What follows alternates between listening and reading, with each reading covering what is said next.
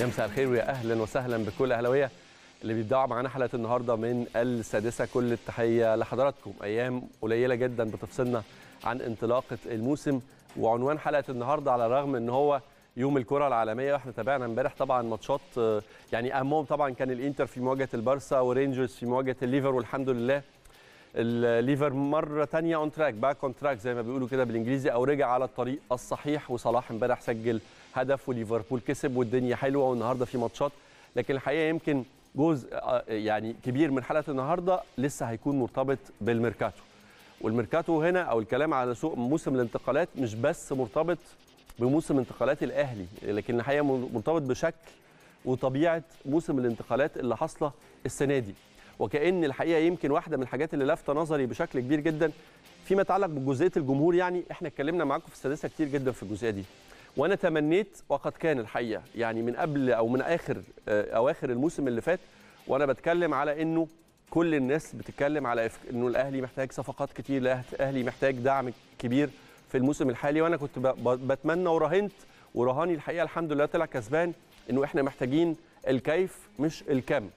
وعلى الرغم من إن أنا ركزت على النقطة دي واتكلمت فيها مع حضراتكم كتير جدا وقلت إنه أنا أفضل بالنسبة لي إنه الأهلي يجيب اثنين أو ثلاث صفقات من العيار الثقيل من ال quality اللي مش موجودة مش في مصر مش موجودة في أفريقيا. الموسم اللي جاي لأنه أنا سقف المنافسة بالنسبة لي وسقف الطموح بالنسبة لي ابدا مش الدوري المحلي ولا الكاس في مصر. أنا عندي يقين إنه الأهلي بال squad بتاعه قبل إضافة أي اسم لو ال squad ده في حالته لو ال squad ده استعد بشكل طبيعي يقدر ياخد بطولة الدوري وبطولة الكاس بفرق كبير جدا عن أقرب المنافسين. لكن كان هدفي وكانت عيني رايحة أكتر على المنافسات القارية والمنافسات العالمية. كلام هنا على بطولة دوري الأبطال والكلام هنا على مشاركتنا في كأس العالم. الصفقات اللي ممكن تعمل معاك فارق على الرغم من الحقيقة. إنه نفس السكواد اللي إحنا بنتكلم عليه ده هو اللي قدم أفضل وأهم عروض لعبها النادي الأهلي محليا وخارجيا. يعني squad الأهلي قبل ما نشوف صفقات الموسم الجديد هو اللي لعب قدام بالميراس وكسبه. وهو اللي لعب قدام الهلال وكسبه وهو اللي لعب قدام مونتري المكسيكي وكسبه وهو اللي لعب قدام الدحيل القطري وكسبه وهو اللي خد السوبر على حساب نهضة بركان وعلى حساب الرجاء وهو خد بطولة أفريقيا على حساب الزمالك وعلى حساب كايزر تشيفز وهو اللي كسب الوداد رايح جاي وهو اللي كسب الترجي رايح جاي. يعني ال squad الحقيقة ما أثرش في حاجة. وبالتالي لما تيجي تدعم النهارده بصفقتين أو بثلاثه أو بأربع صفقات سوبر عيار تقيل أعتقد ده يصنع الفارق. ده من ناحية الكيف. من ناحية الكم بقى تعالى نتكلم.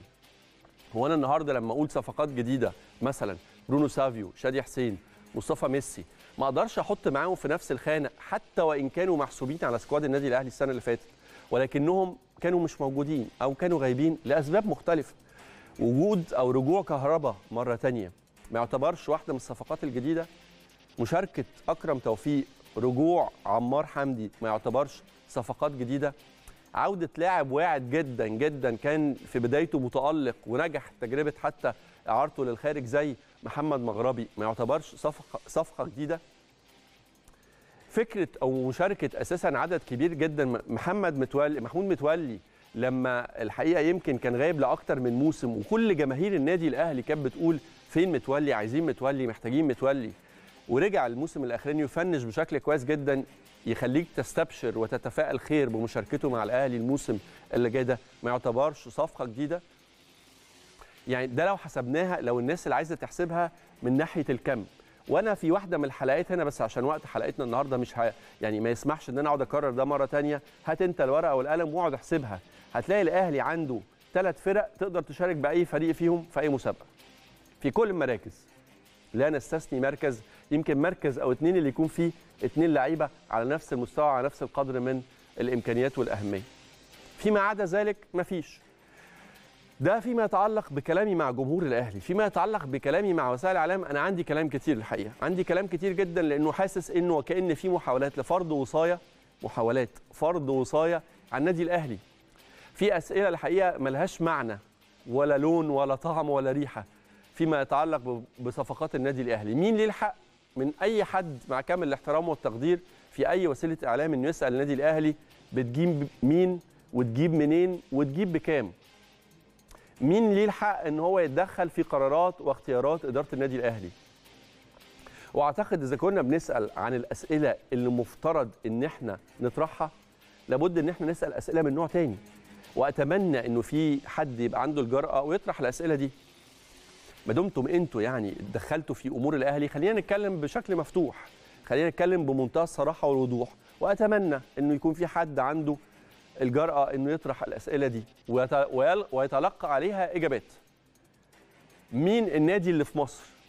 مين النادي المصري غير النادي الأهلي اللي بيحقق نشاط كرة القدم عنده مكاسب مالية؟ فين اسم النادي اللي في مصر اللي نشاط كرة القدم عنده؟ من بيع وشراء اللاعبين من جوائز البطولات اللي والألقاب اللي بيحققها من عوائد البث التلفزيوني من عقود الرعاية. أنا عايز أعرف مين النادي اللي في مصر اللي ميزانية نشاط كرة القدم عنده تسمح له إنه يحقق مكاسب قبل ما نتكلم على الميركاتو. وطلع لي منهم فكرة إن الأندية المديونة عليها ديون أو أحكام قضائية آه، ديون للاعبين ديون لمديرين فنيين ديون لاتحادات كورة يعني أنا بتكلم على ميزانية صافي الأرباح. تسمح له بإجراء ميركاتو على أعلى مستوى زي ما إحنا بنشوف النهارده الأندية بتعمل 15 20 آه، 18 صفقة من العيار الثقيل ماذا لو؟ ده السؤال الثاني ماذا لو؟ ماذا لو تم تطبيق قانون اللعب المالي النظيف في مصر. كيف سيكون شكل موسم الانتقالات؟ السؤال الثالث وده الأهم. هل يجرؤ أي مسؤول في اتحاد الكرة أنه يجاوب على هذا السؤال؟ لماذا لم يتم تطبيق قانون اللعب المالي النظيف في مصر حتى الآن؟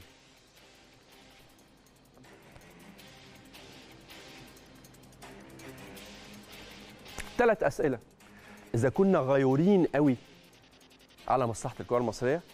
إذا كنا بنفتش في الملفات وفي الصناديق المغلقة اللي مش لاقيين عليها إجابات علينا إن إحنا ندور على إجابات للأسئلة دي بمنتهى البساطة. وساعتها هنتكلم بقى عن الأندية في مصر بتصرف كام على انتقالات مصادر الأموال بتاعتها إيه تجيب منين وتجيب مين وتدفع كام يبقى حق مشروع لجميع الأطراف. عندي كلام كتير بس خلينا عشان وقتنا ما ياخدناش نروح لأهم الأخبار والعناوين في حلقة النهاردة. البداية مع الأهلي ومحاضرة فنية للاعبي الأهلي وفقرات بدنية متنوعة في التدريبات. كولر يمنح برونو سافيو تعليمات ومهام جديدة في مران الأهلي. بيرسي تاو وعمار حمدي يواصلان برامج التأهيل. رابطة الأندية تقرر إجراء قرعة الدوري 9 أكتوبر. ويد الأهلي يفوز على الترجي ويتصدر مجموعته في بطولة إفريقيا للأندية. فرقتين يلعبوا مع بعض يعني فرقتين في الأهلي يلعبوا مع بعض. وبص شوف كواليتي اللعيبة اللي ممكن تبقى موجودة آه، كأوراق رابحة. لو حطينا الشناوي قدامه علي لطفي لو حطينا عبد المنعم مع ربيعة متولي مع ياسر إبراهيم. لو حطينا في الناحية الشمال علي معلول في الناحية الشمال آه، آه، أيمن أشرف. لو حطينا محمد هاني في الناحية اليمين أكرم توفيق. في قلب الملعب نحط مثلا آه، حمدي فتحي مع آه، أو خلينا نحط في الجنب اليمين هاني وكريم فؤاد بصراحة كريم يستاهل. نحط في قلب الملعب أكرم توفيق مع آه، اليو ديانج ونحط من الناحية الثانية حمدي فتحي مع السولية. نحط قدام الاثنين دول محمد مجدي قفشة ونحط قدام الاثنين دول برونو سافيو.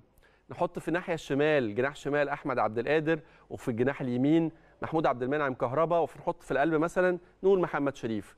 الناحية الثانية نحط حسين الشحات ونحط محمد طاهر محمد طاهر ونحط في القلب مثلا حسام حسن.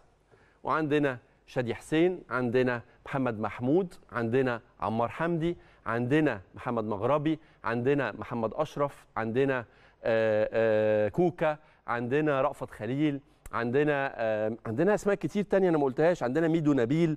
يعني انت بتتكلم وعندنا مصطفى شوبير انت بتتكلم على انه squad لو عملت لو قدرت تنجح في انك انت قبل ما يبتدي الموسم تجيب صفقة أو اتنين واحدة فوق واحدة تحت على أعلى مستوى انت عندك squad حجم المنافسة بس جوه ال squad ده هيطلع من اللعيبة ومن الجيل اللي أنتوا شفتوه بيكسر أفريقيا ويدغدغها على كل الفرق اللي لعبنا معاهم الثلاث سنين اللي فاتوا فرقة تانية. قيس على ده إنه لأول مرة الفرقة دي الرجالة دول ياخدوا راحة من ثلاث سنين راحة سلبية. وأول مرة أول مرة من ساعة لما فايلر مشي النادي الأهلي يبقى عنده فترة إعداد. أنت أنت آخر مرة شفت فترة إعداد للنادي الأهلي إمتى؟ من كام موسم؟ آخر مرة اللعيبة دي ريحت خدت فترة راحة سلبية كانت إمتى؟ شافت بيتها شافت شمت نفسها. فصلت من التفكير ومن الضغط المستمر بطولات ورا بطولات ورا بطولات وضغط جماهيري وضغط إعلامي وسوشيال ميديا. إمتى؟ فيعني يعني إذا كان ليا إن أنا أقول كلمة لحضراتكم نصبر شوية. الأهلي ما بيتحركش بقى يعني ب ب ب ب يعني مع التيار. الأهلي بيتحرك بياخد خطوات دايما محسوبة. واعتقد انه التدعيمات اللي تمت تمت بشكل جيد جدا كل اللعيبة الحقيقة اللي جت تقدر تراهن عليهم بشكل كبير. شادي ورقة كنت أتمنى أنا شخصيا إنها تيجي بدري شوية عن الموسم ده. برونو سافيو كل أنا لسه ما شفتوش في الملعب. أنا ما بحكمش على اللعيبة من الفيديوهات. أنا ممكن أي لعيب في مصر أعمل لك ليه فيديو 3 4 دقائق تقول ده خليفة ميسي ورونالدو.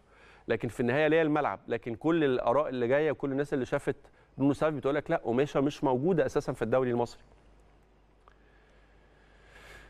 مصطفى ميسي. يعني كل الناس بتقول لك الولد ده مستقبل. الولد ده إمكانيات و... و... و... وحكاية يعني هتتفرجوا عليها. ومع المنافسة خد بالك اللي بيجي الأهلي أنت كنت جايب لعيبة كبيرة جدا جدا جدا بقت من أهم نجوم في تاريخ الكرة المصرية. جم الأهلي ما حدش يعرف عنهم حاجة. أو مش ما حدش يعرف عنهم حاجة كانوا خامة مبشرة. كان لعيب اسمه لعيب كويس.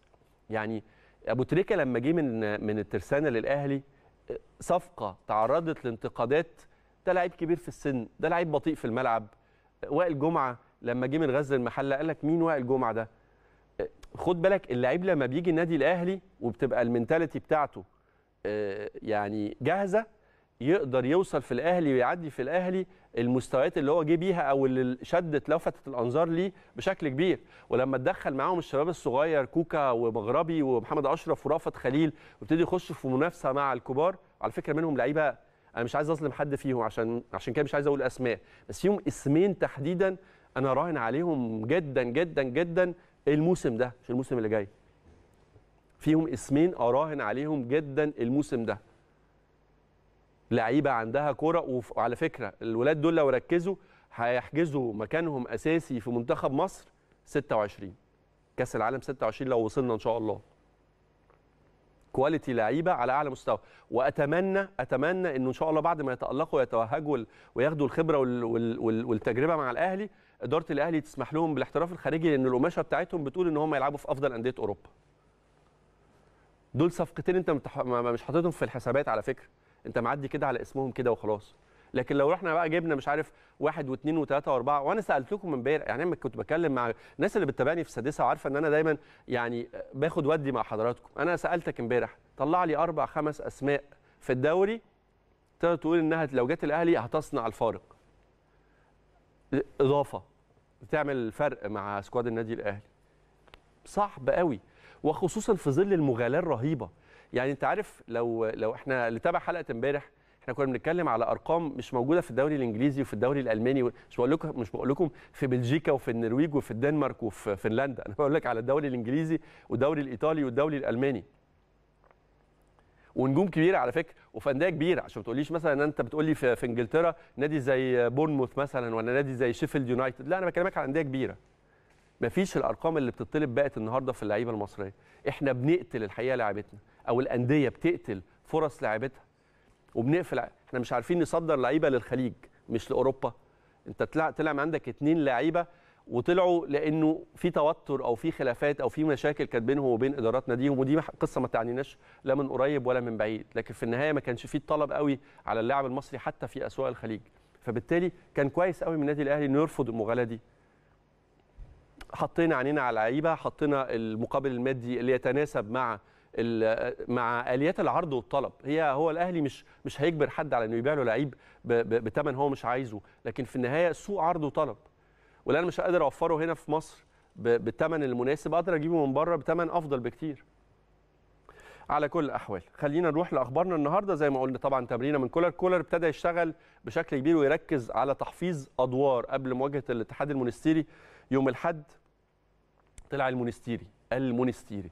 الاتحاد المونستيري يوم الأحد إن شاء الله بإذن الله. وبالمناسبة يوم الأحد هيبقى آه نفس موعد مباراة النادي الأهلي يوم 9 أكتوبر. هو الميعاد اللي حددته رابطة الأندية عشان تعلن فيه أو تجري فيه آه آه قرعة الدوري في الموسم الجديد. اللي مفترض إن شاء الله إنه يبدأ بعد مباراة العودة. إحنا نلعب العودة يوم 15 الدوري يبدأ يوم 18 أكتوبر إن شاء الله بإذن الله. ويمكن في تمرينة النهارده كولر كان بيشتغل بشكل كبير مع كل لاعب على حدة وكان فيه اهتمام كده يعني ده اللي شفناه أو اللي وصل لنا من تمرينة الأهلي ببرونو سافيو. وقف معاه كتير اتكلم معاه كتير اداله توجيهات معينة. وعلى فكرة برضو بدنيا سافيو بيتم تجهيزه بشكل طبعا بيتمرن مع الفرقة لكن بياخد جرعة إضافية. يعني اتكلمنا كنت بتكلم امبارح على إنه الراجل مهتم جدا بالكهرباء وعامل له برنامج بعد ما بيتمرن مع الفريق في برنامج خاص بيتم تنفيذه لمدة تقريبا 30 دقيقة بعد انتهاء المران والسافيو نفس الحكاية برضو بمستر كولر حاطط له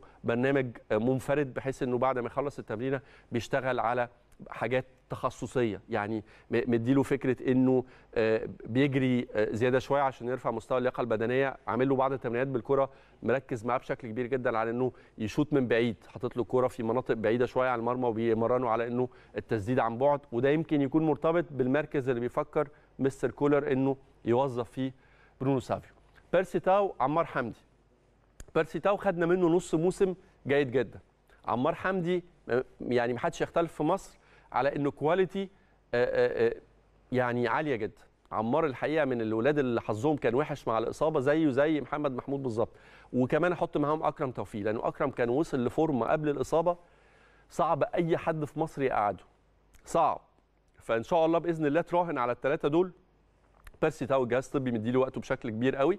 عايز يطمن على شفائه عشان الاصابه يعني لا قدر الله ما تتكررش مرة ثانية عمار حمدي إن شاء الله بإذن الله يرجع يبقى جاهز ورقة في منتهى منتهى الأهمية وأكرم توفيق إن شاء الله. إحنا شفناه يعني اتفرجنا الحمد لله عليه في الملعب. الأهم بالنسبة لي إنه وأكرم دايما من اللعيبة اللي عندهم الروح واللعيب اللي عنده الروح ده تراهن عليه إنه يقدر يرجع بسرعة فإن شاء الله الثلاثه يكونوا جاهزين في الموسم الجديد بسرعة.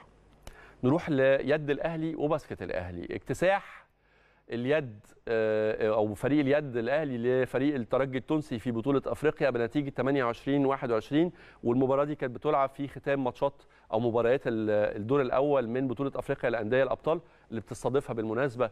تونس عشان بكده يكون حقق الأهلي العلامة الكاملة في مجموعته ويتصدر المجموعة وينتظر في الدور الثاني طبعا المباريات المقبلة. فاز في الأربع ماتشات لعبها ويمكن من اللحظة أو من بداية المباراة سيطر الأهلي على المباراة جملة وتفصيلا ونجح انه يوسع الفارق مع الترجي على مدار اللقاء لغاية لما انتهت النتيجة لصالح الأهلي بنتيجة 28 21 وهي نتيجة كبيرة جدا مع فريق من كبار إفريقيا. الترجي واحد من أهم وأكبر أندية إفريقيا على مستوى كرة اليد ويمكن كان في في المدرجات زي ما أنتم شايفين عدد من جمهور النادي الأهلي اللي حضر المباراة عشان يساند الفريق. مش بس بطولة أفريقيا اليد لكن كمان بطولة أو البطولة العربية لكرة السلة. الفريق الأول لكرة السلة في النادي الأهلي عمل record افتتح مشواره في البطولة العربية للأندية اللي بتستضيفها الكويت بالفوز على فريق الميناء اليمني.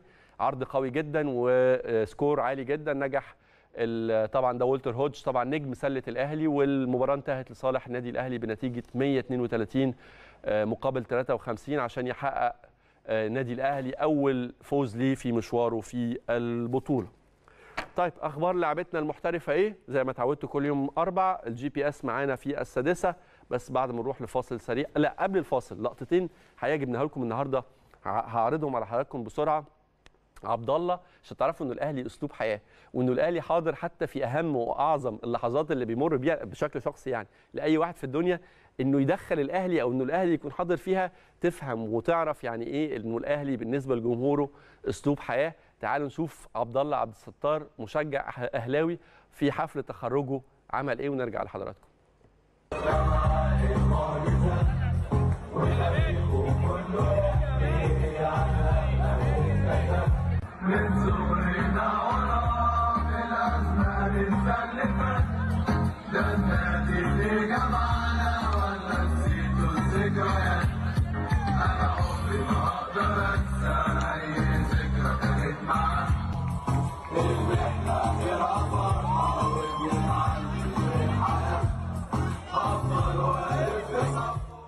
مش غريب على الأهلاوية اللي جوه لكن اللي كان غريب بجد بالنسبة لي هي مكالمة تليفون. استقبلتها من يعني حد أعرفه بيعمل في مجال السياحة مرشد سياحي أسباني.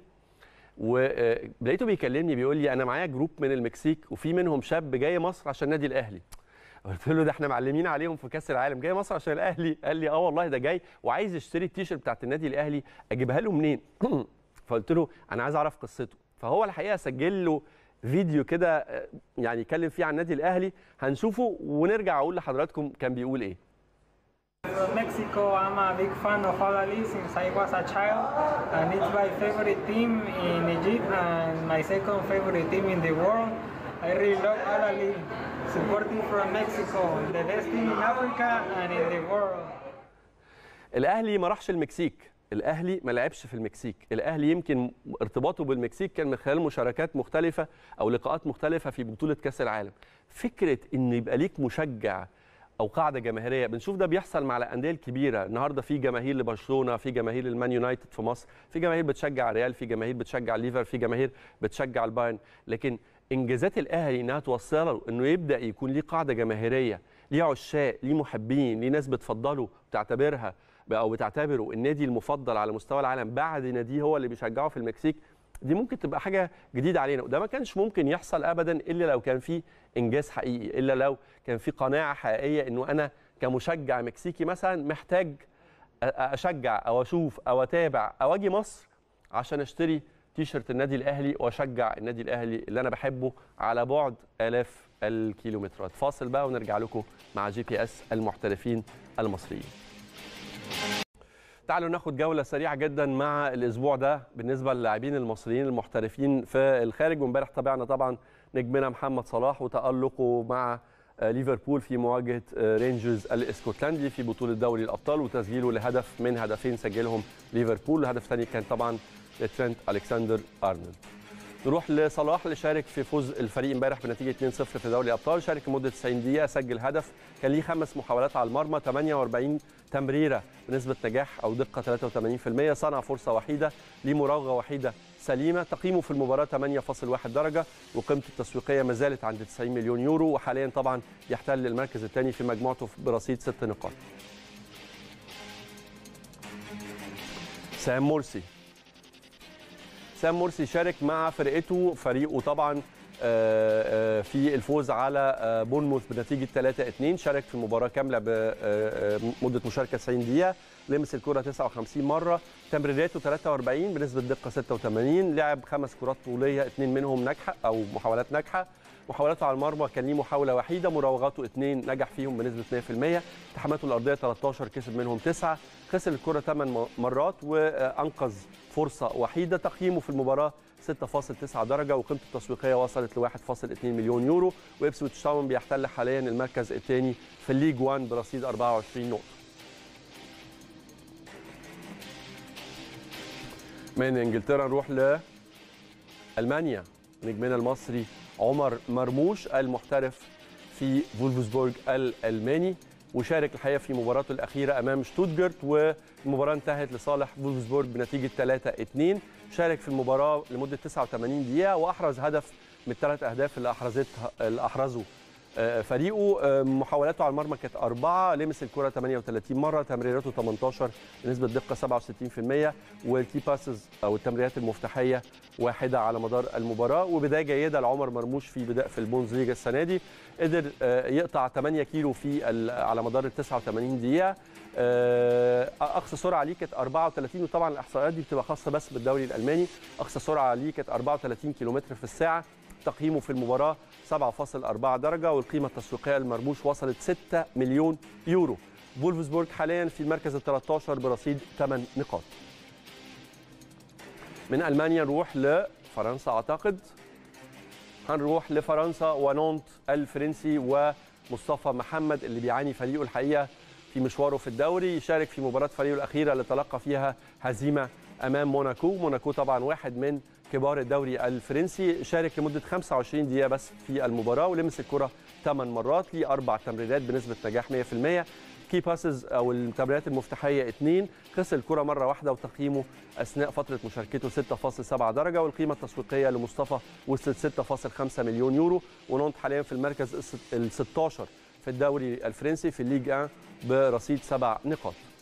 هنسيب فرنسا ونروح لتركيا. والبداية مع تريزيجيه. محمود تريزيجيه الحقيقة شارك في مباراة فريقه الأخيرة آه، بشكل كامل لمدة 90 دقيقة وشارك في فوز فريقه على قيصري سبور بنتيجة 2-1 كان ليه أربع محاولات على المرمى لمس الكرة آه، 60 مره على مدار 60 مرة على مدار المباراة. 41 تمريرة بنسبة نجاح 81% ثلاث تمريرات مفتاحية ست التحامات أرضية بنسبه بنجاح آه، آه، أربعة بنسبة تقريبا 66% آه، خسر الكرة 14 مرة وتقييمه في المباراة كان 7.4 والقيمة التسويقية لمحمود حسن تريزيجيه وصلت ل 10 مليون يورو وفريقه حاليا ترابزون سبور بيحتل المركز الخامس برصيد 16 نقطة.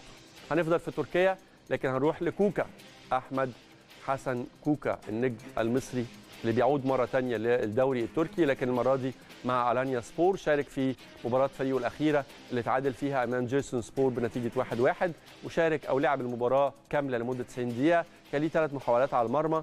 إهدار فرص مؤكدة فرصة وحيدة لمس الكرة 34 مرة. تمريراته 23 بنسبة دقة 83% خسارة الكرة 8 مرات والقيمة التسويقية لكوكا وصلت ل 3 مليون يورو. وألانيا سبور بيحتل حاليا مركز ال 11 في الدوري التركي برصيد 9 نقاط.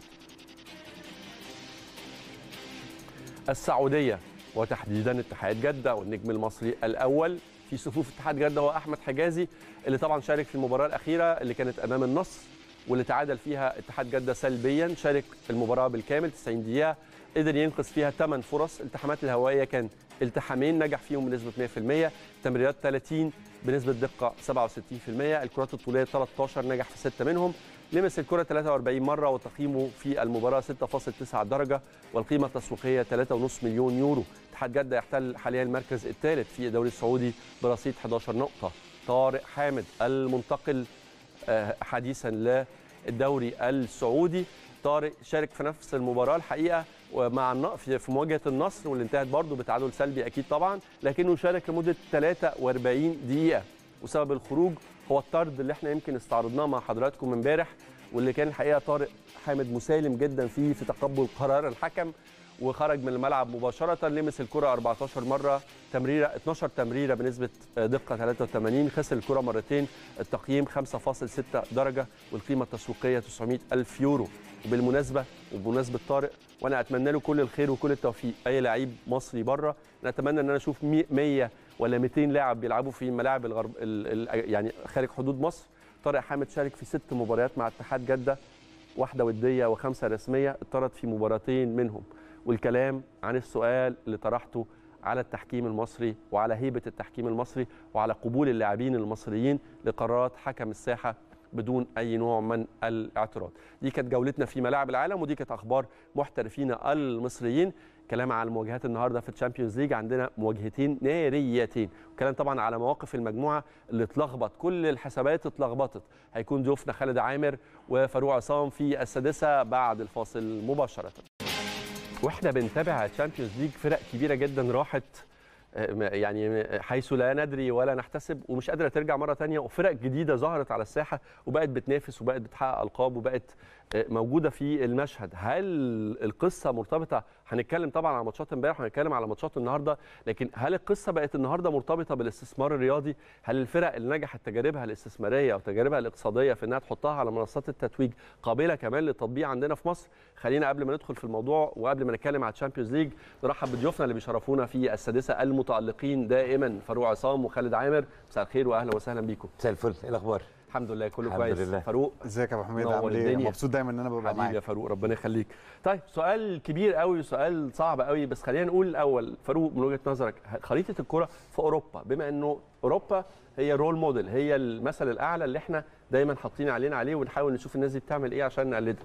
هل شايف إنه فكرة الاستثمار في صناعة ورياضة كرة القدم غيرت من خريطة الكره في أوروبا؟ أكيد طبعا أكيد. إحنا لو دلوقتي بصينا على ال- النادي المستحوذ على على البطولات في في الكرة الإنجليزية هو نادي مانشستر سيتي.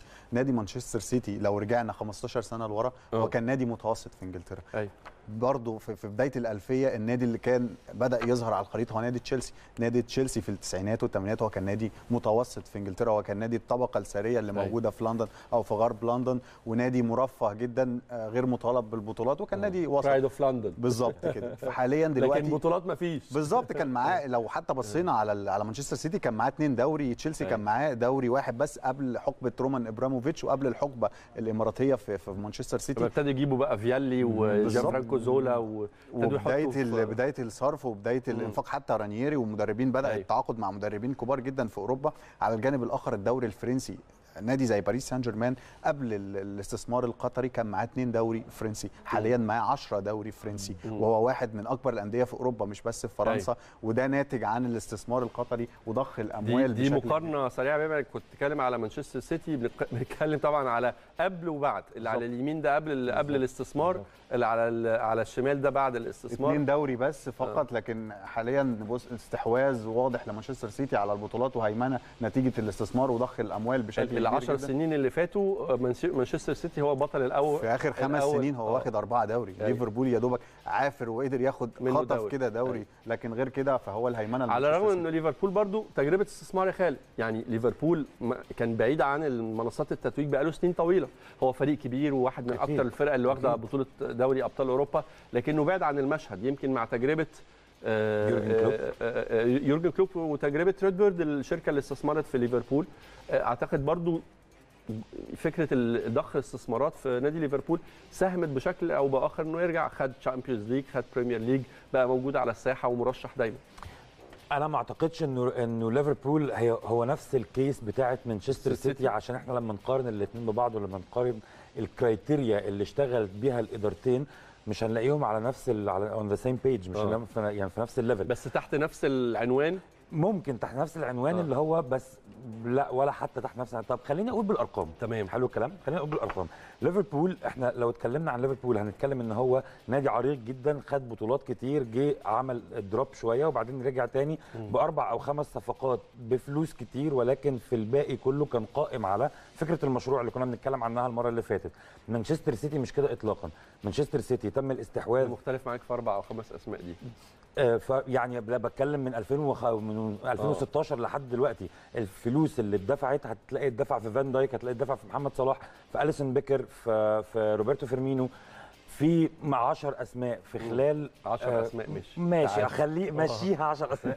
10 في نبي كيتا، في تياجو نونيز في الكانتارا. نبي كيتا في تياجو الكانتارا يعني تمام تمام تمام. ما عنديش مشكلة في ده بس هي برضو بتتكلم على في في, في حقبة 8 سنين أو في مم. في فترة 8 سنين 10 أسماء. اتصرف فيهم فلوس كتير قوي غير إنه نادي آه، آه، آه، مانشستر سيتي تم الاستحواذ عليه سنة 2008 آه، مقابل 210 مليون استحوذ على 90% فقط وبعدين أضاف فلوس إضافية عشان يستحوذ على ال 10% المتبقين.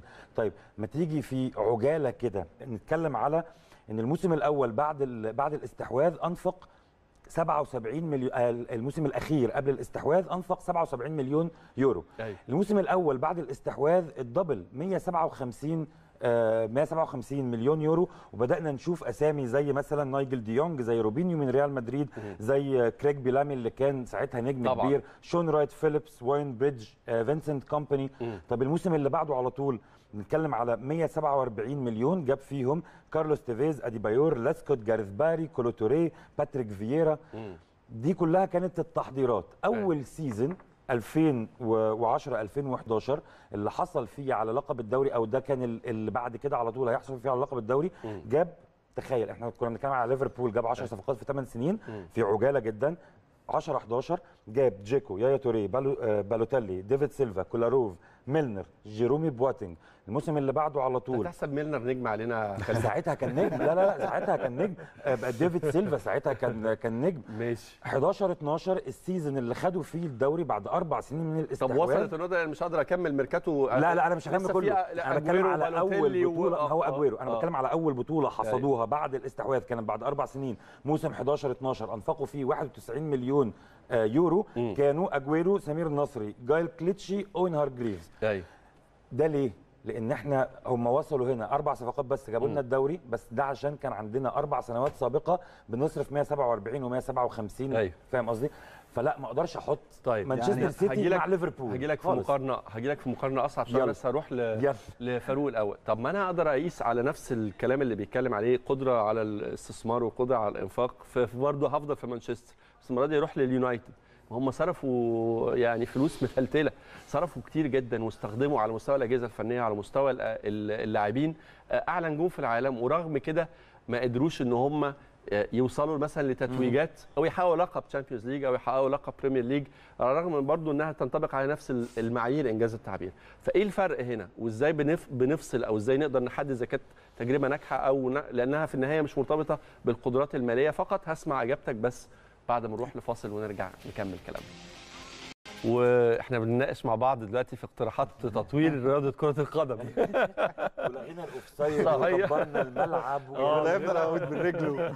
لا والله كنت بتكلم معاهم في حاجة مهمة جدا إنه لو الم... لو انتهت ماتشات في التع... بالتعادل هنا في الدوري نلعب بينالتي كيكس أو نلعب ضربات آه، جزاء.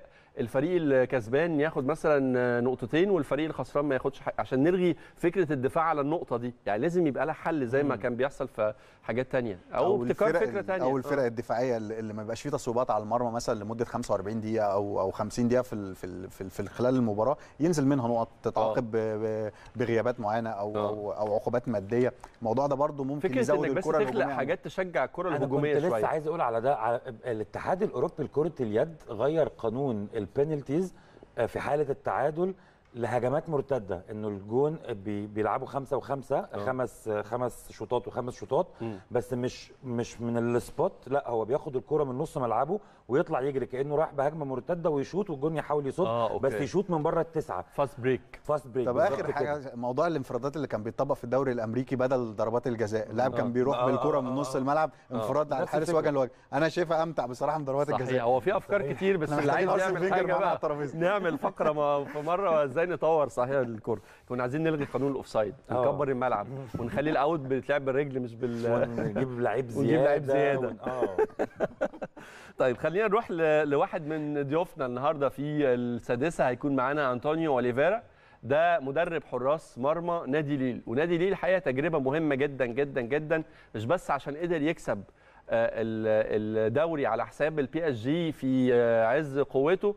لكن الحقيقة كمان عشان ليه تجربة وإحنا كنا لسه بنتكلم على الاستثمار دلوقتي لك أن تتخيل ودي معلومة فاجئتني أنا شخصيا إنه نادي نادي ليل هو أكتر نادي على مستوى أوروبا حقق أرباح من عمليات بيع وشراء اللعيبة في العشر أو الثمان سنوات الأخيرة آه، من 2013 تحديدا لغاية يومنا هذا. بنتكلم على 300 مليون يورو.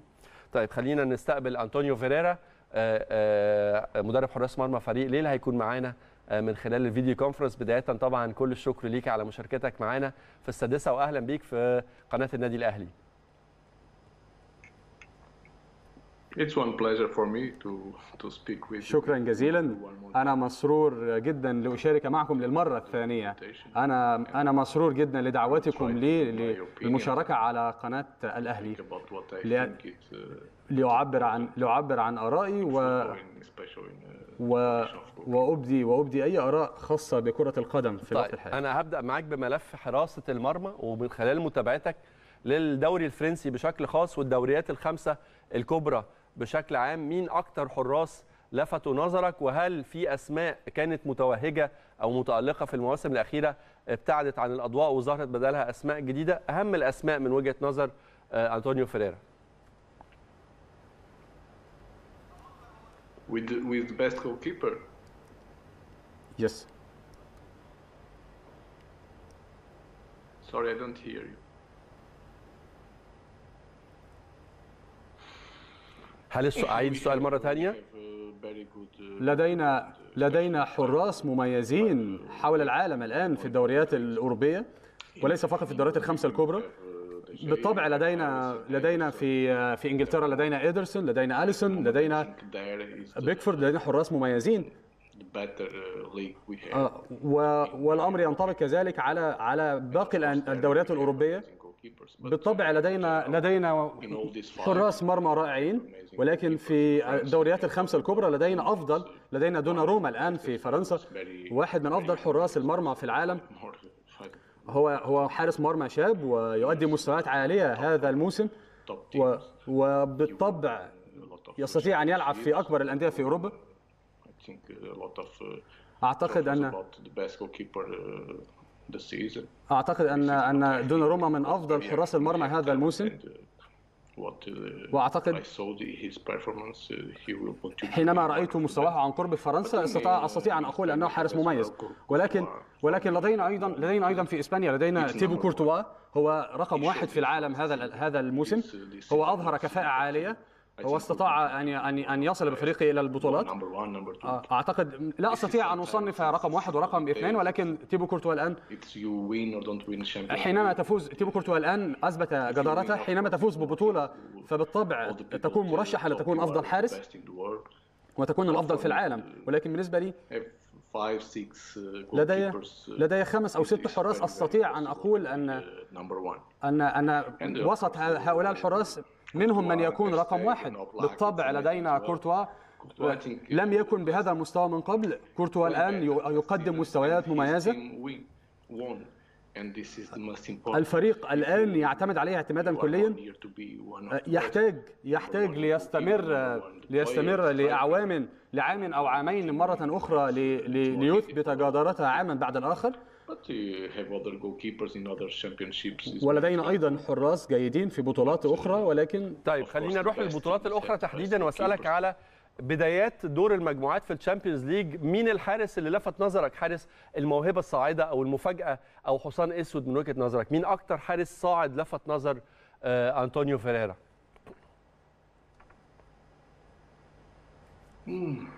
Yesterday, آه. نعم هو سؤال صعب آه، أعتقد أن الآن حارس مرمى بورتو. لدينا ديوجو حارس مرمى بورتو يقدم مستويات. هو حارس شاب ويقدم هو موهبة برتغالية كبيرة يقدم أداء مذهلا هذا الموسم أنا أنا أنا أحبه كثيرا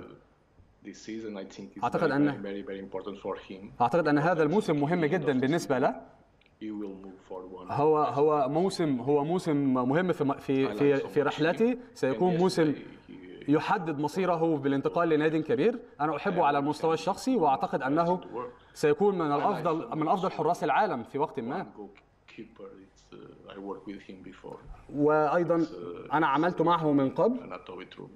لدي ولدينا ولدينا أيضا أناتولي. أنا عملت معه أيضا. أعتقد أن الآن الموقف بالنسبة لحراس المرمى آه، في حارس مرمى شختار أناتولي هو الموقف صعب له ولكن الحارس هو حارس مميز هو واحد من أفضل الحراس. أنا دربته بنفسي. أعتقد أن في المستقبل سيكون واحد من الأفضل كذلك في على مستوى العالم. آه، ولدينا ولدينا الكثير من ال- من ال- الحراس المميزين. لا أستطيع أن أقول أنهم الأفضل الآن في العالم ولكن ولكن في المستقبل هؤلاء الحراس. سينتقلون لأفضل الفرق ويفوزون بأكبر البطولات حول العالم آه، أناتولي و... وأيضا ديوجو بس سينتقلون عندنا بالطبع. سؤال بخصوص let us ask you let us ask you تمام إحنا بس عندنا سؤال بخصوص آه، آه، مايك ماينان تحديدا بطل الدوري الفرنسي مع ليل بطل الدوري الإيطالي مع آه، آه، AC Milan آه، آه، من أبرز المرشحين للانضمام أو إن هو يبقى الحارس رقم واحد في منتخب فرنسا. من وجهة نظره كمدرب وهو كان المدرب بتاع آه، آه، مايك ماينان وهو سبب في التطور الكبير في مستواه اللي وصل ليه ده وهو بالنسبة لي تاني أحسن حارس مرمى في العالم بعد آه، آه، تيبو كورتوا. طيب إيه ال added value اللي مايك ماينان أضافها ل AC Milan ما كانش دوناروما بيعملها؟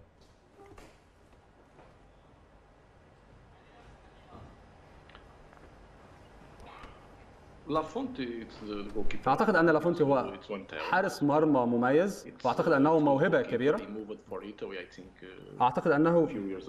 إنه انتقل م- منذ عدة سنوات. أعتقد أنه يقدم من من حينها يقدم مستويات رائعة. هو يتميز بأنه حارس شاب يستطيع التأقلم مع طرق اللعب المختلفة. يقدم لديه لديه مهارة مختلفة عن باقي حراس المرمى، المدارس تختلف بالطبع، هو من مدرسة مختلفة عما يقدمه دوناروما. أعتقد أنه this season start very well. هذا الموسم بدأ بداية جيدة. Very, very good season. It's هو هو موسم رائع بالنسبة له nonsense, الأمر- uh, الأمر لن يتوقف كذلك ولكن لن يتوقف على ذلك ولكنه سيكون من أفضل حراس المرمى في العالم. إن لم يكن إن لم يكن واحدا من أفضل خمس حراس في العالم. آه، بالطبع بالطبع إنه هو كان مرشحا ل- ل- ل- ل- لحراسة آه، باريس سان جيرمان ومانشستر سيتي. هو لننتظر ونرى ماذا سيفعل هذا الموسم ونرى ونرى خطواته القادمة. إذا كان إذا كان لديه القدرة على لعب في الأندية الكبيرة في المستقبل ولكن. من من الممكن أن نراه كما قلت هو حارس مرمى شاب ولديه المهارة.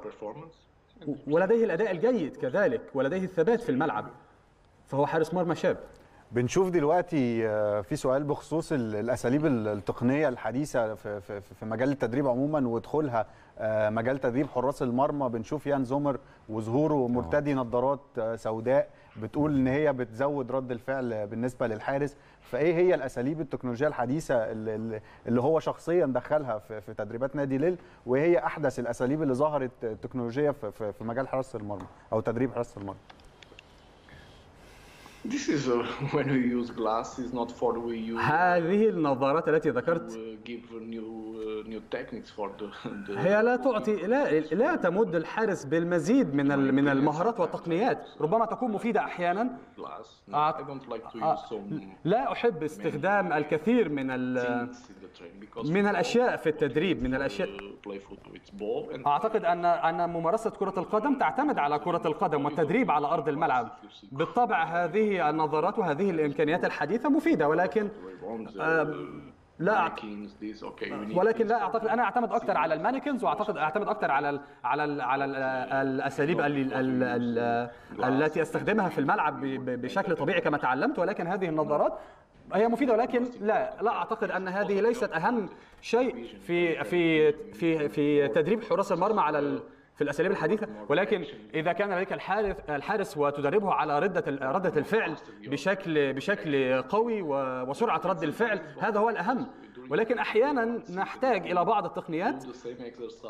آه، ولكن ولكن الأهم هو ممارسة التمارين بشكل مستمر وبشكل اعتيادي. آه، آه، في. في كرة القدم الحديثة في الرياضة الحديثة هذا هو الأهم في وجهة نظري. طيب خليني أسألك سؤال أخير. ومرتبط أكتر بالكرة البرتغالية ورايح أكتر لكاس العالم اللي خلاص بيفصلنا عن بدايته أيام. يمكن القاعدة يعني في كرة القدم علمتنا إنه ما فيش فريق بطل بدون حارس مرمى بطل. وشفنا أمثلة على ده سواء مع أندية أو منتخبات كتير جدا. هل بتشوف إنه حراسة المرمى في المنتخب المنتخب البرتغالي في أحسن مستوياتها؟ وهل آه، حراسة المرمى أو مستوى حراس المرمى البرتغاليين يقدر يساعد منتخب آه، البرتغال على إن هو يروح لبعيد أو ينافس على لقب كأس العالم ولا لأ؟ Have أعتقد أن في هذه اللحظة لدينا لدينا حراس مرمى جيدين. فزنا بدو... فزنا بأمم أوروبا.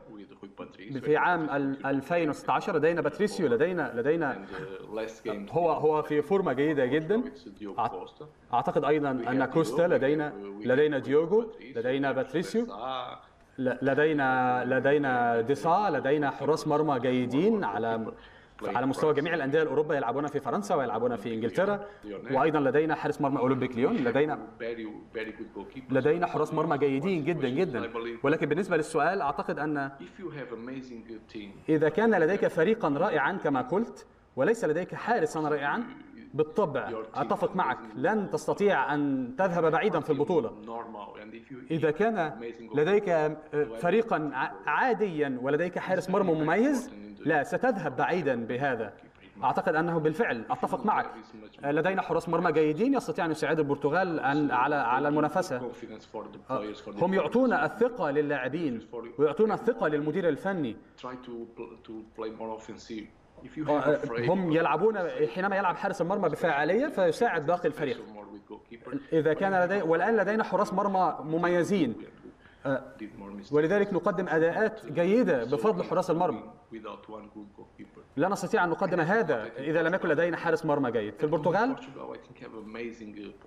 لدينا الآن ثلاثة حراس مميزين جدا. أحياناً- go to the national team because the أح- level أحيانا لدينا حراس لا لا يرشحون لل لل لل- للفريق للمنتخب القومي. ولكن لأن ولكن هذا بسبب جودة حراس مرمى المنتخب البرتغال.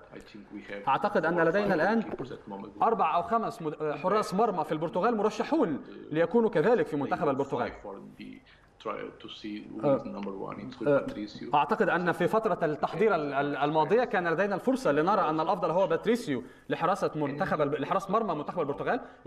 وبالطبع كوستا أيضا هو حارس مميز وأدى أداءات جيدة في الفترة الماضية. يستطيع آه، أستطيع أن أقول أنه مرشح أيضا لقيادة منتخب البرتغال في كأس العالم.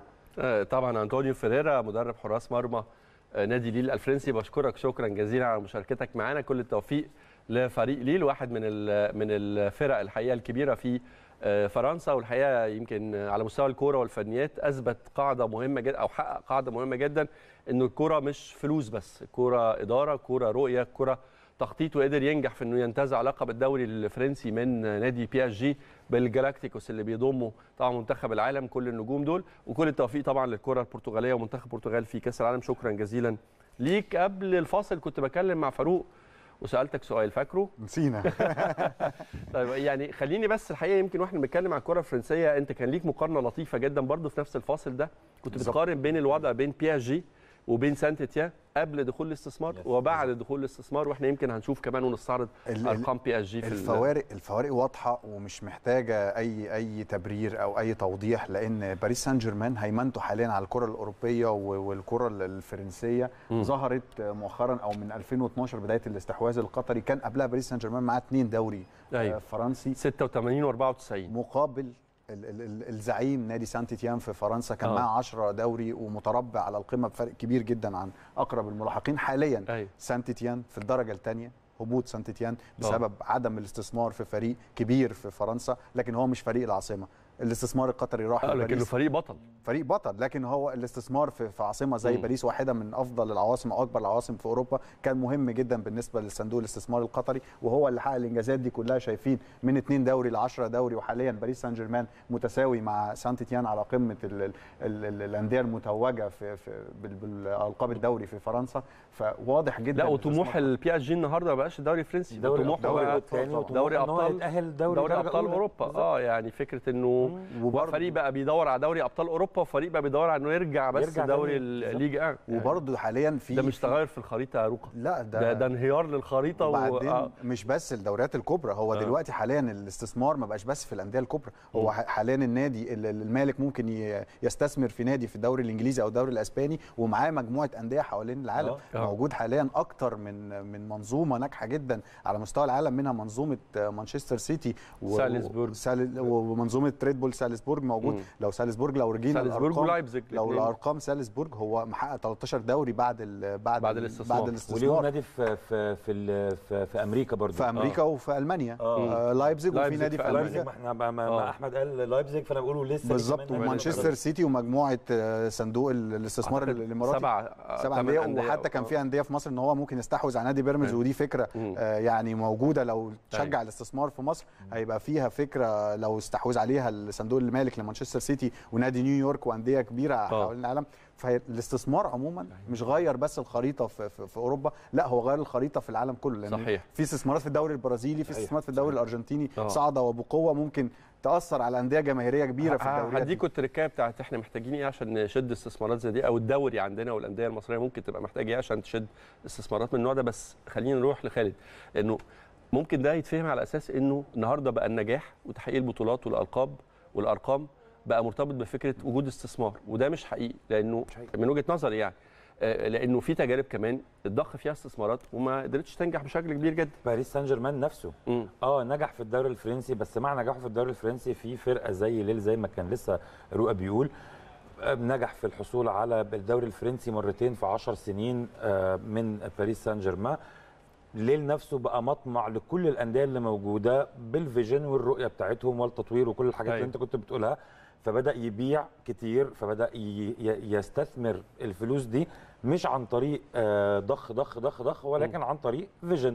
فبيبيع إيكوني وبيبيع مايك موينان وبيبيع آه، ريناتو سانشيز بيبيع عدد من نجومه وبيطلع غيرهم وهكذا.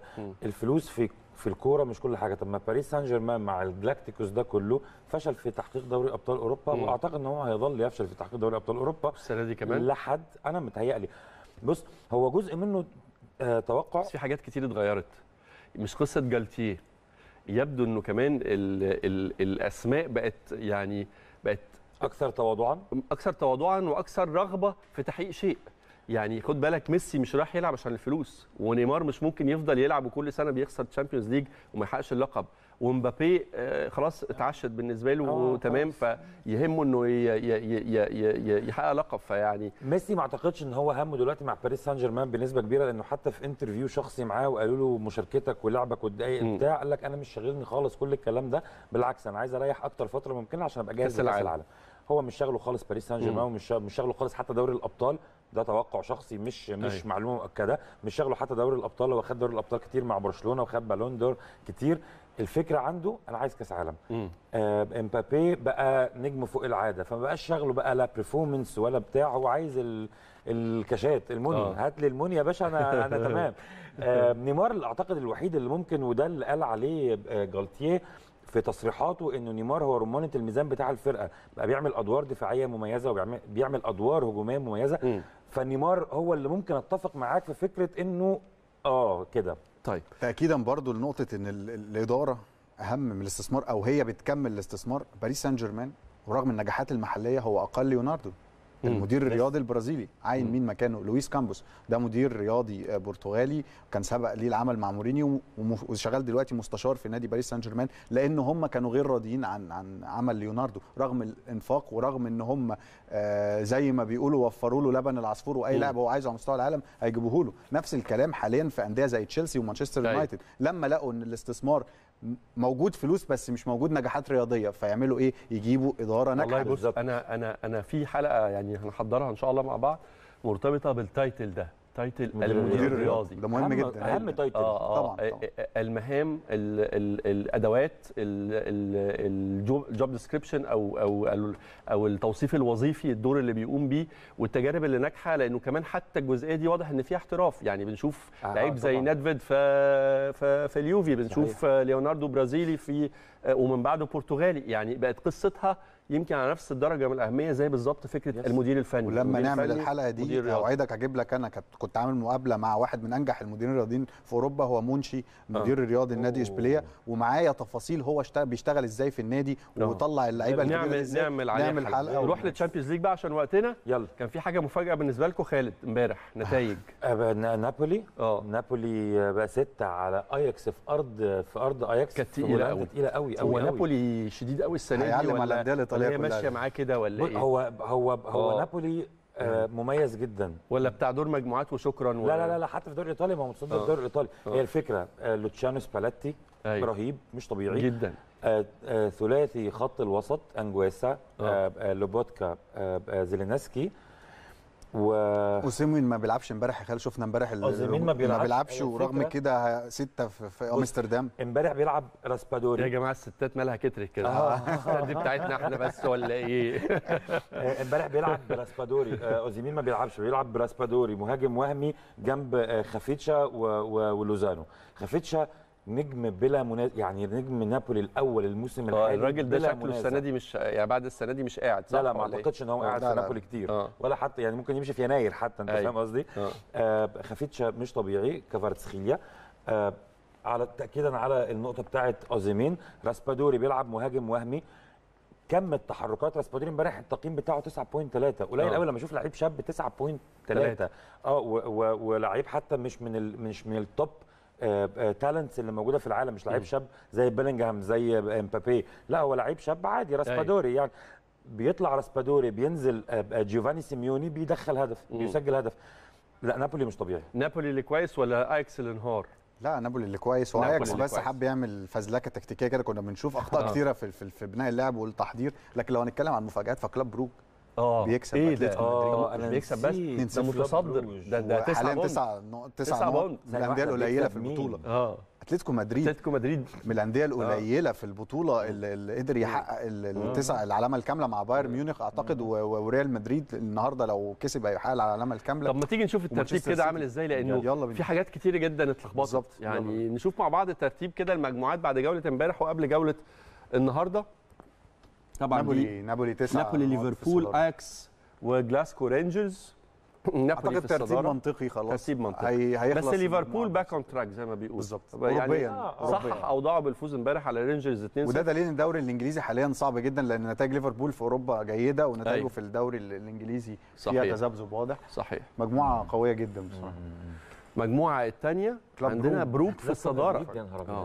ده اللي أنتوا كنتوا أنتوا الاثنين. مستبعدين ودايسين عليه وقلتوا ده مفاجأة كبيرة في البطولة. وبعد لا كده واللي وراه مين بقى؟ يا جماعة ليفركوزن بورتو بالظبط. أتلتيكو مدريد كلهم بعاد. ده هو ثلاث نقط. مجموعة فيها ليفربول هو كلاب بورتو ضمن. أتلتيكو مدريد. آه. هنرشح كلاب بروج بورتو هو ضمن بورتو- محتاج نقطة. بورتو بطل. ثلاث مباريات. آه. بورتو بطل. آه، آه، أتلتيكو أتلتيكو مدريد آه، لا، بس بطل دوري إسباني. بالظبط وكان وصل final Champions League ليفركوزن آه وليفركوزن برضه ليفركوزن محتاج آه، نقطة من ثلاث مباريات وصل وصل النهائي. برضه Champions. League آه فأنت بتتكلم إنه. خلاص بروج ال- واتخانقوا أنتوا مع بعض كبيرة المجموعة دي هي أكتر مجموعة مفاجأة في مين هيوصل مع. بروج ولا بروج ممكن يطلع لا هو محتاج نقطة من ثلاث آه، ماتشات ممكن يتغلب الثلاثه خلي بالك صعب جدا. ممكن يتغلب. الثلاثه صعب جدا. ال season اللي قبل اللي فات أتلانتا اتغلب أول ثلاث ماتشات ناقص له ماتش تعادل ويطلع بره. كسب هو متهيألي كلوب بروج. لعب ماتشين بره أرضه وماتش واحد في أرضه يعني بعد كده فاضل له ماتشين في في أرضه مش أو مش. عارف بس صعب يعني أكيد طيب هياخد نروح. للمجموعة الثالثه لكن بروج أقرب انه يتأهل ومعاه ثلاثة واحد من الثلاثه التانيين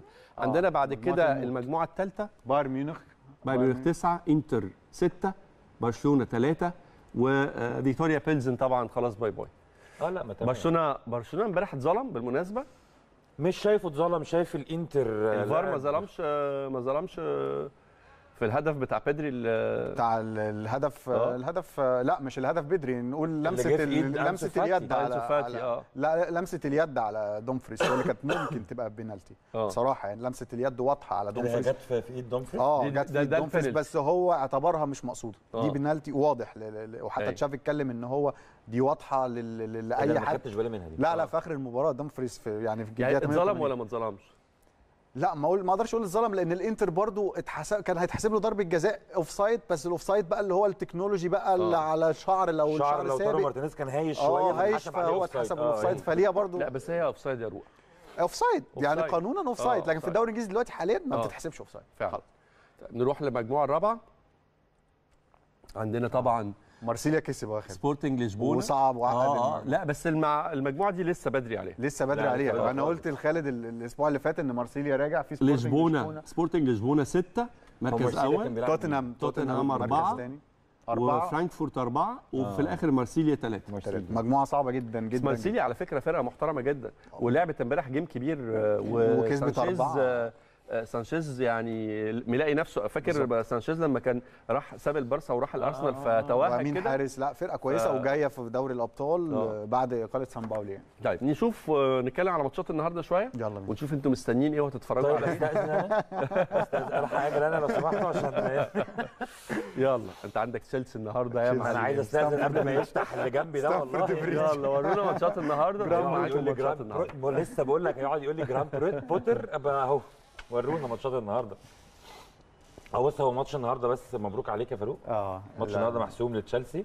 لا مش محسوم ولا الماتش برضه في سان سيرو ولا لا ستامفورد بريدج. آه. بس برضه ميلان بطل بطل بطل إيطاليا. حتى لو الغيابات كتير حبتين ثلاثة أربعة بس برضه يعني هيقدر يقدم ند يكون ند طيب ال- إحنا إحنا طبعا الماتشين اللي هم مش جماهيريين قوي أو مش قويين قوي يتلعبوا بدري شوية. سالزبورج في مواجهة دينامو زغرب ولايبزيج في مواجهة سلتك بعد كده بقى ضرب النار بالليل. أولها كده بسم الله الرحمن الرحيم. تشيلسي في مواجهة الميلان ودي يمكن يكون أقوى clash النهارده في ال- الماتشات. عندنا بعد كده ريال مدريد في مواجهة شختار مواجهة بقت كلاسيكية في آه، دوري يا الأبطال. وبعد كده عندنا السيتي طبعا في نزهة أمام كوبنهاجن الدنماركي. هالاند هيجيب كام جول؟ هتلاقي في الاتحاد ده النهارده في حفلة. النهارده في حفلة. أربع خمس آه، دقايق. ما- مازينجر بيسخن من دلوقتي يعني. أو مازينجر بيسخن. كابتن ماجد زي ما بيسموه. عندنا سيبيا بعد كده أو إشبيلية في مواجهة بروسيا دورتموند مباراة ممكن يبقى فيها كورة حلوة. اليوفي في مواجهة بطل الكيان المحتل وبنفيكا البرتغالي في مواجهة باريس سان جيرمان. أعتقد برضو مباراة يعني فيها بنفيكا فيها. باريس؟ آه آه. لا ما يعني ما يتهيأليش. ما تتهيألك ما يتهيأليش. أنا أنا أعتقد إن الماتشات اللي ممكن تبقى حلوة آه أنت بتتكلم إشبيلية آه، دورتموند. ده ماتش سيبيا ودورتموند. هيبقى لطيف جدا آه ماتش ماتش اليوفي قمة المتعة يعني انت مش وقمة هتتفرج على تشيلسي.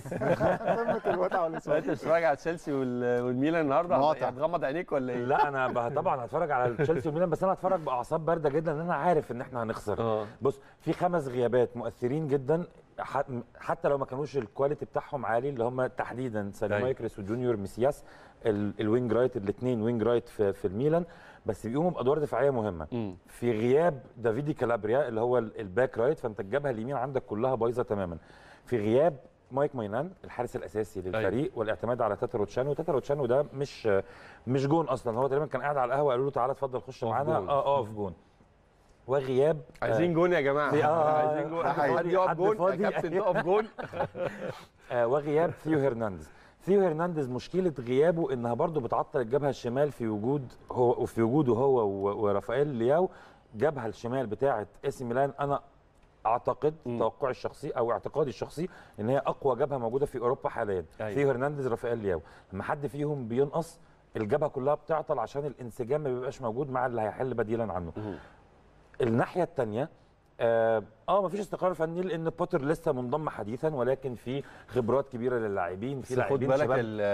ال ال أي جهاز فني جديد جاي في فترة بعد تراجع مستوى وتراجع بيبقى حلاوة البدايات طبعا بيبقى جداً. عايز يقول أنا أهو أنا جداً. جيت في تغيير في فرق فرقة. فايقة واللعيبة بالنسبة للجهاز الفني عايزة تقول للجهاز صحيح. الفني إحنا واقفين على 100%. رجلنا وموجودين فانا عشان كده بقول توقعي الشخصي هسمع فاروق طبعا هو أكيد آه. عنده رأي مختلف بس أنا توقعي الشخصي إن المباراة محسومة لتشيلسي لا لا صعب آه. صعب صعب نقول محسومة لأن الميلان برضه فريق عنده خبرات وخصوصا إن هو في اليوم اللي على. الميلان اللي نقول عليه إنه يعني لسه المشروع لسه شغال آه. يعني ما نسبقش يا جماعة ده. الميلان يا جماعة الميلان يعني. يعني يعني آه، أسطورة من إحنا أساطير كنا بنتكلم في قبل الهوا إن تغيير خريطة الكرة عموما. إن الدوري الإنجليزي قلب قلب طبعاً. الموازين وهو. بقى رقم واحد مم. على الدوري الإيطالي اللي كان في بداية على. الدوري الإنجليزي ده حقيقي وما كانش بيتذاع في, في, في الوطن العربي وما كانش حد عايز يتفرج على الكورة فيه بدأ الأندية تدخل والاستثمار في نادي تشيلسي تحديدا كان واحد من الاستثمارات المهمة مع وجود ليفربول ومانشستر يونايتد وأرسنال بقى في متابعة كبيرة للدوري الإنجليزي بداية من عام 2005 تحديدا 2003 بقى- بص يا 2000 فاروق يعني, يعني 2004 موسم الهزيمة بنتكلم بتاع- بتاع, آه، ارسنال طبعا أرسنال. واندثار الدوري الإيطالي فالتحول ده حصل بسبب الاستثمار بسبب النجاح في بص ال market بص شوية. يعني نمرة واحد أقول لك إنه القائمين على بطولة الدوري الإنجليزي على البريمير ليج كان عندهم vision طبعا. مهمه جدا صح. يعني حتى لو لم تأتي الاستثمارات بنتائج المرجوه منها الناس دي قررت في يوم من الأيام إنه النسخة دي من الدوري الإنجليزي هنحط عليها X إحنا عايزين نسخة تانية راقيه تبقى هي الأفضل على مستوى العالم. تبقى هي قبلة النجوم الأولى. صحيح. وتبقى الصورة فيها ويبقى المدرجات فيها وتبقى الملاعب فيها على أعلى quality ممكنة. صحيح. ونجحوا إن هم يتخطوا كل الدوريات اللي كانت بتسبقهم.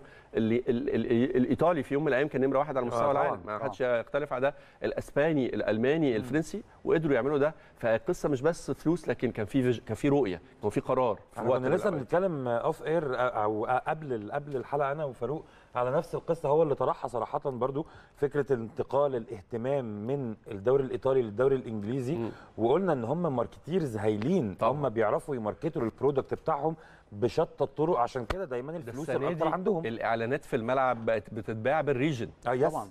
يعني تلاقي هنا هم- غير اللي هنا هم أول ناس يعني- إدوا الأندية يعني مفتاح الناس اللي في. ال Middle East غير الناس اللي في ال Far East غير.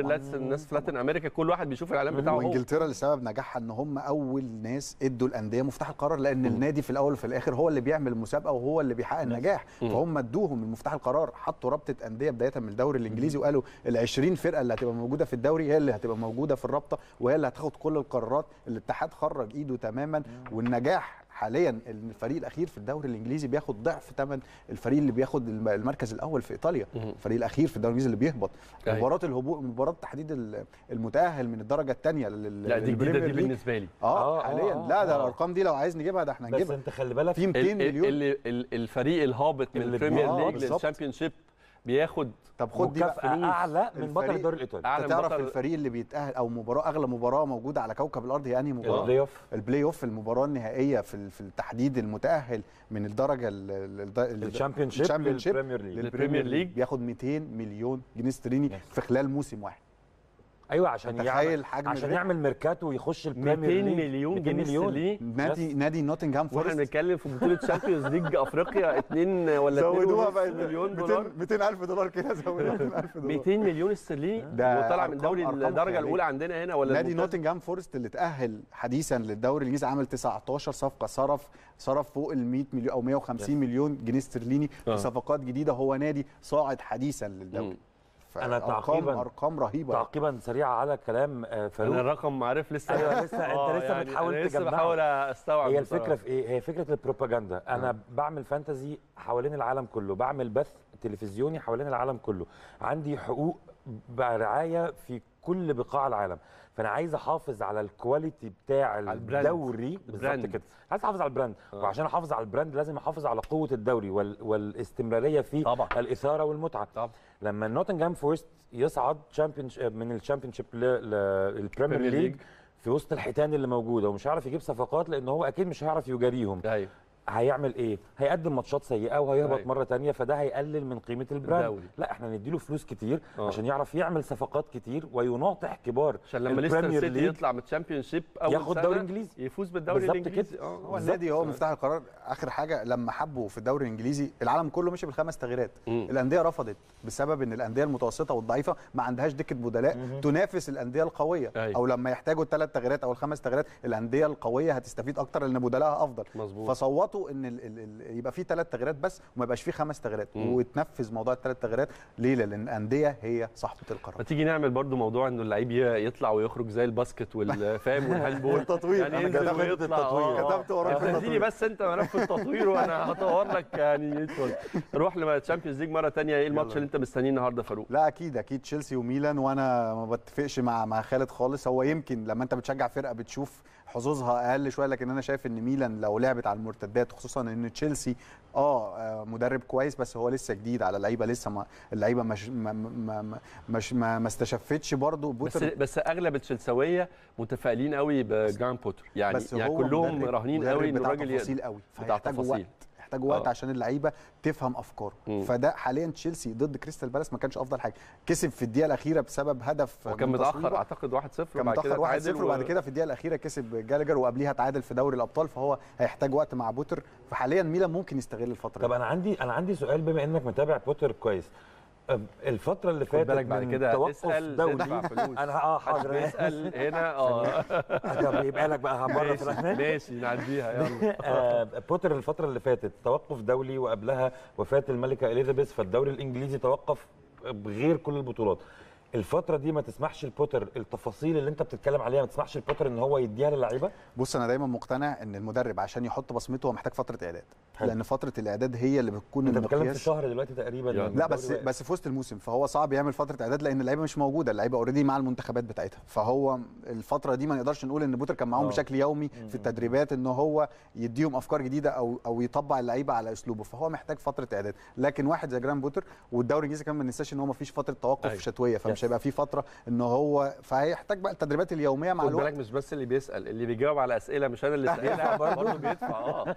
وبعدين كفاية كده 5 5000 5 K كده. إحنا واضح إن على. الكلام كده تاني؟ ده عايز سؤال في؟ التاريخ. واضح إن الكلام على الاستثمار بدأ يشجع. يعني لازم نشغل الدنيا مال إيه يا جماعة؟ يعني مفيش حاجة ببلاش في الزمن اللي إحنا عايشين فيه ده. طيب خليني أسألكم حاجة تانية. هل ما قدم في بطولة الشامبيونز ليج لغاية النهارده؟ يعني أنا الحقيقة كنت متوقع النسخة دي؟ يبقى فيها منافسة وفيها مستويات أقوى من كده. كنت متوقع إنه السنة دي البارسا وهو مع تشافي بشكله الريال منافس تقليدي بايرن ميونخ PSG مان سيتي ليفربول. طبعا في صدمات حصلت في الدوريات. يعني يعني في فرق كتير جدا آه. حصلها كبوات ما كانتش متوقعة في الدوري الإنجليزي. تشيلسي يترنح ليفر يترنح المان مش لاقي نفس اليونايتد مش السيتي مش لاقي نفسه. فهل شايفين إنه في منافسة أو في أندية كشرت عن أنيابها أعلنت عن رغبتها أو قدرتها على تحقيق اللقب ولا نستنى لما ندخل على المرحلة الإقصائية خالد آه، أنا شايف لا نستنى لأنه مفيش نستنى. فرقة ظهرت بالشكل ال- المبهر اللي أيوة. تقدر تقول وانت مغمض عينك الفرقة دي هتاخد Champions League فيما عدا هالاند مش السيتي فيما عدا هالاند. لا لا يعني ما هو- تظلمش ما تظلم ما تظلمش السيتي. يعني بص وجود هالاند طبعا وتألقه ال ال ال الرهيب من بداية الموسم ما حدش يقدر يختلف عليه. لكن ما تنكرش كمان إنه هالاند لوحده لا، ما يعمل أقوياء حاجة. جدا، وجريليش يعني فيل فودن وجريليش طبعاً، ودي بروينا و... لا ف... وبرناردو سيلفا. وحتى الاحتياطيين اللي هم جابوهم كالفين فيليبس كان في كان في كان في إحصائية لسه شايفها قبل الهوا كانت بتقول إن 34% نسبة التوقعات إن مانشستر سيتي هو اللي ياخد دوري الأبطال السنة دي. 34% ما هو قوي جدا. هو الوحيد- فارق تقريبا عن خم- 15% في النسبة عن أقرب فريق ليه اللي هو كان باريس سان جيرمان هو ده الوحيد اللي تقدر تقول إنه إلى حد ما. بس برضو ما لسه عايز في أقول لك. عقده في في كده أنا أقول في لا، ساحر لا، لا، أفريقي لا. أنا عارفه. لا أقول لك في ساحر أفريقي أنا عارفه سحر لبيب جوارديولا عشان يا توريه آه، واتكلموا في القصة دي. أنا ما أعرفش ليه بقيت م- مقتنع باللعنات كده في الفترة الأخيرة. ففي ساحر أفريقي قال إن هو آه، قدم لعنة على بيب جوارديولا إن هو ما يتوجش بدوري الأبطال. 10 سنين عدت وما توجش. فيمكن انت بقيت مقتنع باللعنات والمؤامرات وإحنا في مقتنع الأوف إير. مقتنع إنه دوري بحاجات كتير. 2012 آه، نظرية المؤامرة أنا نظرية بس مؤامره مش هياخدها بيب جوارديولا، مش 12 هياخدها. مانشستر سيتي ده لا مش أنا مش أنا منافسة أنا أنا لو يعني لو لو السيتي ما حققش لقب ال Champions League السنة دي أيوة. أنا هيبقى عندي مشكلة كبيرة جدا مع البطولة لأنه كان الأقدر والأحق بتحقيقها السنة السنة اللي فاتت والسنة اللي قبلها قدام تشيلسي والسنة اللي خرج فيها قدام غالبا. هيبقى عندك مشكلة كبيرة يعني. معايا بس أنا أعتقد إنه السنة دي لأ ما يعني ما حدش هيقدر يقف قدام السيتي ولا أيامه بيننا ما حدش هيبقى عندك الدنيا مشكلة كبيرة إيه. معايا لأن أنا نفسي لا السيتي ولا باريس سان جيرمان ابدا طول حياتهم هو ما حدش. شايف قصادهم ليه هالاند مش هيروح كأس العالم هيجي آه. النص الثاني من الموسم آه وعلى الأرقام. رجليه ده في الأرقام دي. مش الدنيا محتاج أساساً. وشرفتونا شكراً. شكرا شكراً أهلا ليك. وسهلا بيكم شكراً. بنستمتع بجد بيكم جدا كل يوم أربع خالد عامر وفاروق عصام شرفتوا الدنيا ونورتوها في السادسة وعلى كل خير نقابلكم إن شاء الله الأسبوع اللي جاي. وبعد ما نتابع جولة النهارده طبعا وبشكر حضراتكم على المتابعة وعلى كل خير إن شاء الله بإذن الله. حلقتنا اللي جاية هتكون قبل 24 ساعة من انطلاقة مشوار الأهلي الأفريقي. تغطية هتكون خاصة جدا فيها تفاصيل كتير جدا عن مواجهة الأهلي والاتحاد المونستيري في دور 32 من دوري الأبطال. كل التحية لكل الأهلاوية تابعونا النهارده ونتقابل على خير إن شاء الله في حلقة جديدة من السادسة.